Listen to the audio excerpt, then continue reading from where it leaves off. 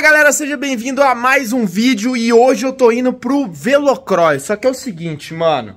Olha, eu peguei a minha CRF 250F e abri a caixa de ar dela. Então ela já tava com escapamento esportivo BHP Bell Parts. E agora eu abri a caixa de ar dela, coloquei a borrachinha igual da 230, vou mostrar pra vocês. E vou pro Velocross. E aqui ó, tá a caixa de ar aberta, tá vendo? Eu coloquei aqui a borrachinha da 230. Olha lá, coloquei perfeito aqui, eu fiz até o furinho. Olha lá, aqui tem um furinho que eu fiz. Pra encaixar, fica preso, bonitinho. E aí, se caso entrar água por aqui, né? Ele desvia, ou se cair aqui pelo meio, ele vai jogar na caixa de ar e não ali na espuma. Então é isso aí, ó. Vamos lá pra pista, vamos testar pra ver se eu, por acaso, ganho um pouco de potência aqui.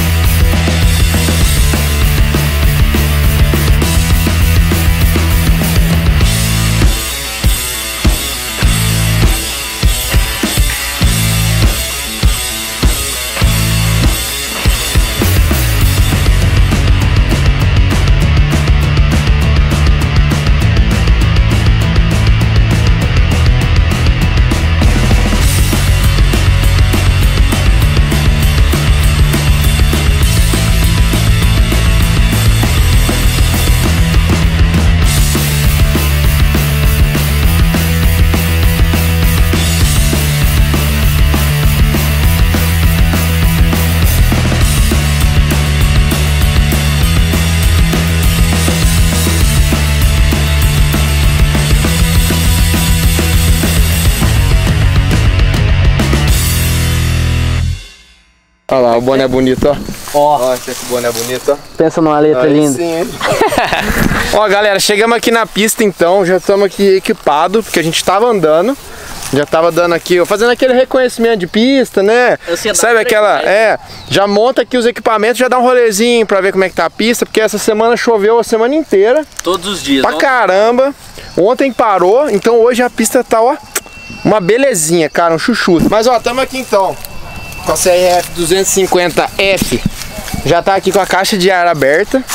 E olha, eu já dei duas voltas, eu senti já que ela deu uma melhoradinha ali na, na entrega, né, de torque e potência.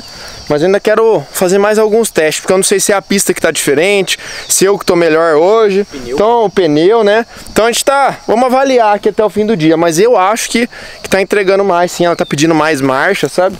Então aqui eu tô com o conjunto, né, escapamento e, e, e caixa de ar aberta. Então bora lá, chega de enrolação, vamos dar um rolezinho, gravar uma volta pra ver como é que, que eu tô andando hoje.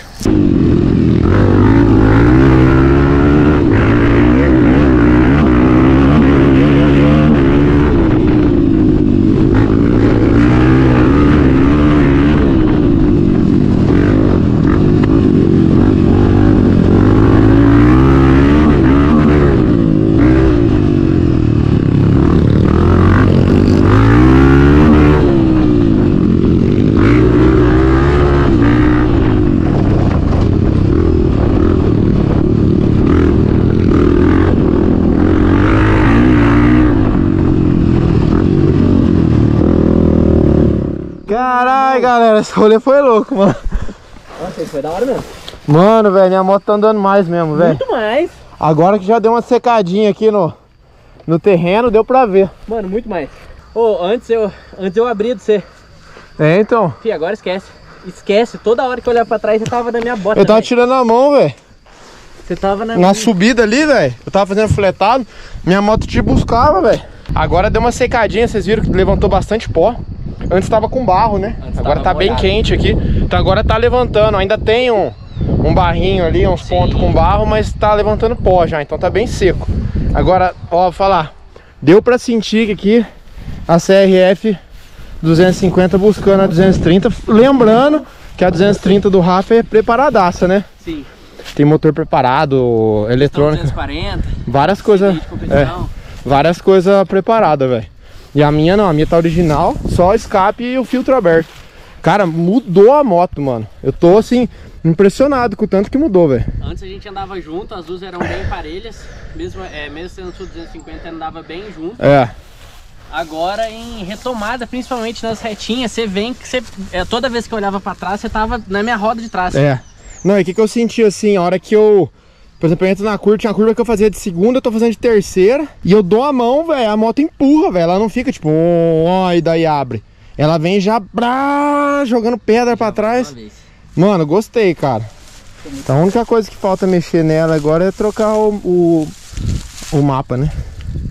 Aí vai ficar brava. Ela deve estar beirando cerca de 28 cavalos, somando tudo, com o mapa original. Né? Pelo que eu pesquisei nos, nos, nos, nos preparadores né? e tudo mais, a galera que passa muito essa moto no dinamômetro. Na ficha técnica de cada um também. É, a ficha técnica dela vem com 22 já, então assim, né, passando para potência de roda, né, desconsiderando é, a relação e tal, aí mais ou menos aí uns 28 cavalos, velho, de motor, né? Mano, muito fera, velho, tô gostando. Vamos dar mais um rolê. Ó, eu vou, vou gravar esse bate-papo aqui que tá legal, mano. Isso é legal da moto, né? A gente senta depois de andar e fica trocando ideia. Ó, só tá a gente aqui, ó. Mas ninguém. Tem mais ninguém. Pista nossa. Pista toda nossa aqui pra gente. Mano, mas a gente tava falando aqui que, ó, hoje é feriado, nós estamos aqui andando de moto e um monte de gente não entende isso, cara. Da gente tá aqui andando de moto, velho. Uma galera prefere estar no bar, né? Ontem, no caso, os bar tava tudo lotado, velho. E a gente tava dormindo pra acordar cedo pra andar de moto. É muito louco, né, é? O que, tipo assim, remete muito também a estilo de vida, né? Uhum. Saúde, porque, tipo assim, andar de moto é perigoso, é perigoso e tal. Mas, Mas é é, um esporte, é um né? cardio, é, você treina vários músculos, músculos que você nem imagina que a gente começa a doer. Dói tudo de noite e É, amanhã. tudo dói. Então é exercício, né, cara? É um negócio gostoso. É um negócio que a gente não, não faz tipo, puta merda, tem que estar aqui. Tem que nossa, tá lá e que tal. É um momento da E não é um negócio igual, por exemplo, mesmo se a gente vinha aqui várias vezes, né, igual a gente tava aqui da última vez, a gente veio andar aqui, é, é completamente diferente cada dia. Tipo, da outra vez a pista tava muito mais seca, dessa vez a pista tá um pouquinho mais molhada. Então, assim, muda tudo, cara, muda tudo. Volta a volta. Volta a volta, cada descida que a gente vai pra pista ali é diferente. Tem uma pedra do outro lugar. É, então assim, o que, que eu considero? Eu, quando eu saía, eu ia pra barzinho e tal, né? Eu ia direto, velho, todo dia. E era muito repetitivo, sabia? Embalada, essas coisas, era muito repetitivo. Eu, eu sentia isso, velho. Você Mo- também saía pra caramba. Né? é sempre as mesmas pessoas nos mesmos lugares. É, mano, é mesmo quando eu morava em São Paulo, velho. Tipo, bandas. era, tipo, era o mesmo rolê, tipo, que eu ia pra beber, aí você, ah, o a maior decisão era tomar cerveja ou tomar vodka. Entendeu? Tipo, Pra morrer era- no outro dia. É, tipo, aí no outro dia, que geralmente era o dia de feriado ou fim de semana, eu tava quebrado, Ressaca. morto, ressaca. Tipo, acordava meio-dia, uma hora, nossa, cabeça doendo. E ficava o dia inteiro no sofá, É, tipo, aí você ainda ficava o resto do dia, você tinha que ficar tomando Gatorade pra recuperar. fazia nada de útil. É foda, assim. Quando é carnaval, tipo, que é uma semana inteira, eu acho da hora, velho. Eu gosto de carnaval, sabe? Mas, ó, vou falar pra você, o último carnaval, a gente fez a casa dos youtubers, né? Veio a Vans, o Seco, a galera veio tudo pra casa. Mano, a gente ficou andando de moto, fazendo nossos rolês, Esse é um rolê sabe? da hora. A gente bebeu, bebeu, mas bebemos em casa, sabe? A gente não, não saía pra, pra ir pros lugares, nem nada. Noitada, né? Chegar É, tipo, a gente bebia e tal, no outro dia tava todo mundo na piscina, curtindo, andando de moto. Sabe, quando a gente vai lá pro Juninho também, né? O Juninho tem uma pista de motocross dentro da casa dele, velho. Então, tipo, você acordou cedo, velho. Já, nossa, É você só olha assim, ó, pra varanda assim, ó. Aquela pista de motocross, irrigadinha, bonitinha, as motos tudo pronta. Aí você fala, ai caralho, vou pôr roupa. A gente vai sair daqui, a gente vai lá em casa, a gente faz um churrasco. É, então. É um negócio assim que só quem anda de moto sabe, velho. Não importa se é no O on, feeling se é é no off, né? Quando a gente vai pro on também, andar no autódromo, é a mesma coisa. A gente senta lá e fala, caralho, minha volta foi assim, preciso melhorar isso, preciso melhorar aquilo. Toma um Gatorade, toma um negócio, come um negocinho, vê as motos, faz amizade. É um negócio assim. Troca experiência. É, mano, é um negócio que, olha, não tem preço, cara. Não tem Muito. preço. É bom. Eu gosto demais, cara. Eu gosto demais. Assim, é é uma paixão que, que acabou virando profissão, né? Sim, Então é um negócio que é.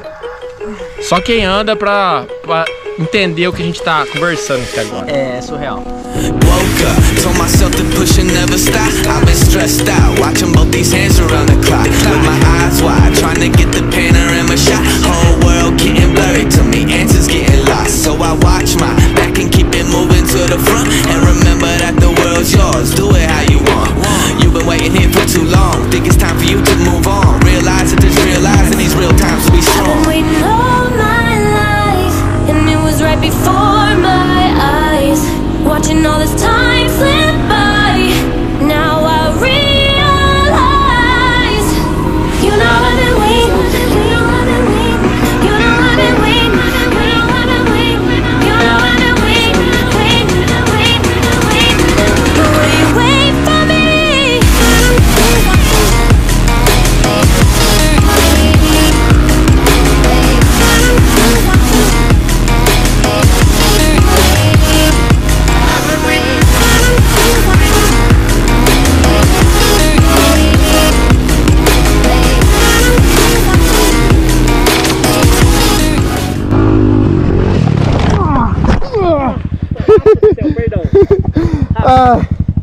Não, tá de boa. Tá bem? Tô. Mano, desculpa, de coração, Não, eu velho. nem vi, velho. Tá bem mesmo? Tô. De verdade? Aham. Dá a mão, senta. Não, tá de boa, pera aí, deixa eu só Sério. recuperar. E o joelho? Não, tá zero. De verdade? Ai, que gostoso. Galera, levei um rola, mano. Foi da hora, velho. Atropelado depois? Foi, eu tomei um rola e ainda fui atropelado.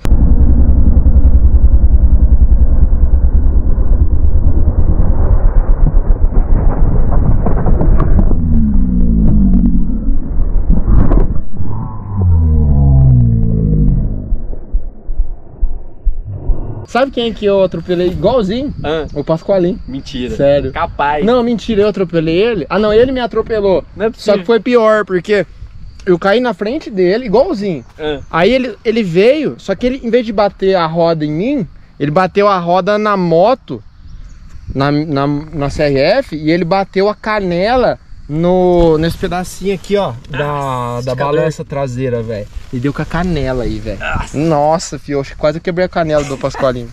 Ele ficou mancando um tempão, velho. Por causa da canelada que ele deu, velho.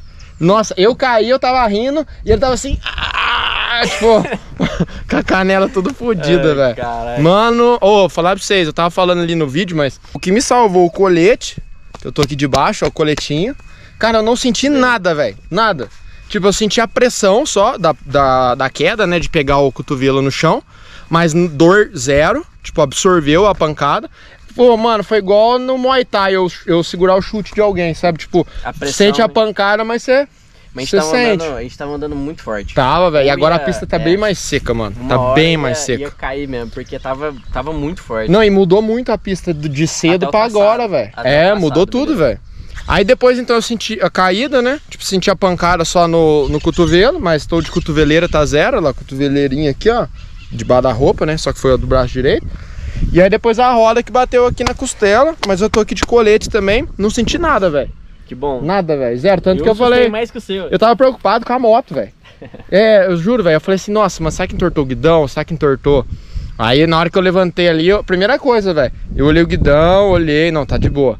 Aí eu fui andando com ela devagarzinho, não, o guidão tá. tá É, o guidão tá certo. Eu vi que o protetor de mão ali tinha dado uma subidinha. Ó, a galera, nossa, vou até falar isso aqui nesse vídeo porque é foda. Vou mostrar.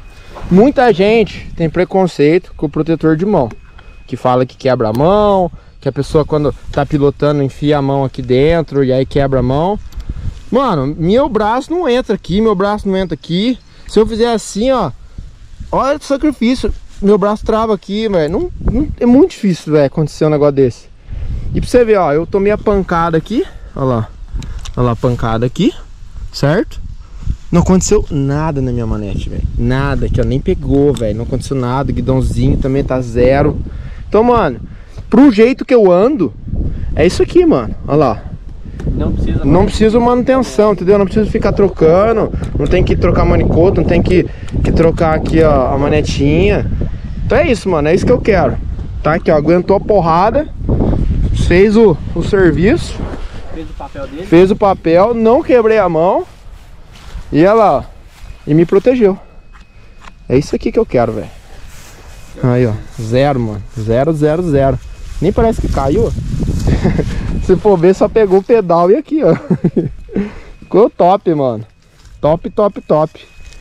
Mas, velho, é isso aí, ó. Tem que estar sempre de equipamento de proteção. Eu tava aqui com protetor também, capacete. É, velho. Mano, imagina se eu tivesse. Cara, imagina se eu Sem tivesse sem. Não, a luva ainda. Beleza, a galera ainda é, usa. Tanto de pedra, cara. É, mas e, e o, e a cotoveleira, velho? Se foi cotovelão forte. Direto, então, hein? velho. Direto. forte. Foi forte. Cotovelão foi no chão com força Eu nas pedras, A velho. gente tava entrando, a gente tava confiando muito no, no paredão, então a Tava. gente tava entrando ali muito forte. Aí a hora que, que segurou, ela escapou à frente, a gente tava. Segurei, usei até o freio pra parar a moto. Eu tava muito em cima Você- dele, a frente você- foi embora. Eu só vi você batendo o cotovelo e rolando. Na hora que você tava rolando, eu já. Começa a. Aí, ó, mas testou o freio. Não, segurou. Aí, ó, o freio da Segurou CRF. bem. Nossa senhora. E eu testei os equipamentos de proteção aqui, tá? Tudo em dia também. Bom, não peguei o capacete no chão, foi só pancada cotovelo mesmo. Foi a pancada que mais senti pressão. A do peito aqui eu não senti nada também. Isso aí, velho. Vamos andar mais. Woke up, told myself to push and never stop. I've been stressed out, watching both these hands around the clock. With my eyes wide, trying to get the panorama shot. Whole world getting blurry to me, answers getting lost. So I watch my back and keep it moving to the front. And remember that the world's yours, do it how you want. You've been waiting here for too long, think it's time.